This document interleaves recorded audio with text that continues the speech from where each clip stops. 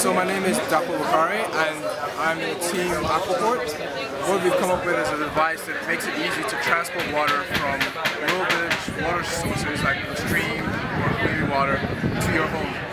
It's a very, it's a modular device, so it breaks down into small components, so you can easily take it apart and put it together. Can we see it? It has to do that, take it home, it has two caps on it to make it easy to pour it out.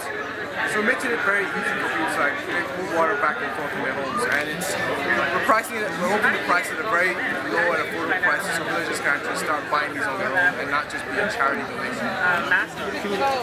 Can you show me some of the features on it? So um, one of the features is the way it attaches. So it splits apart this way. I can take it off, it's just kind of and then you attach it together and it kind of locks in.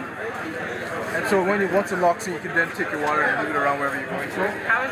And then on the other side, you have two caps. One cap to pour water out, and the other part you can take it off and um, make it easy to pour water into it.